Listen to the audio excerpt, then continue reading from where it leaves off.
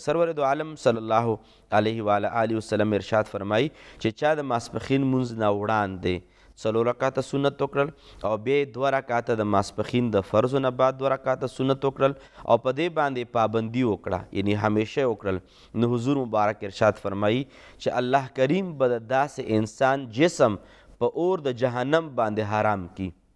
د دغ انسان جسم به په اور د جهنم باندې حرام کی او بعضې روایتو کې داسې الفاظ وي چې په دغه انسان باندې اور د جهنم حرام دی او په دې حدیث کې داسې دي چې د ده جسم په اور د جهنم باندې حرام دی علما د دغه الفاظو لږ وضاحت بیانوي او هغه دا چې د ده جسم په اور د جهنم باندې حرامېدل دا مقصد شو چې د دغه جسم نه به الله پاک داسې کار نه اخلي چې هغه د جهنم د تلو ذریعه جوړه شي یعنی ده په جسم کې به الله پاک ټول خیر او خیر پیدا کړي د ده هر یو کار به د خیر وي نو ځکه علما فرمایي چې دغه حدیث مبارک دا مطلب دی چې حضور مبارک فرمایي چې چا د سحر د ماسپخین مونځ نه وړاندې څلور رکعاته سنت او بیا د ماسپخین مونځ نه بعد دوه رکعاته سنت چا وکړل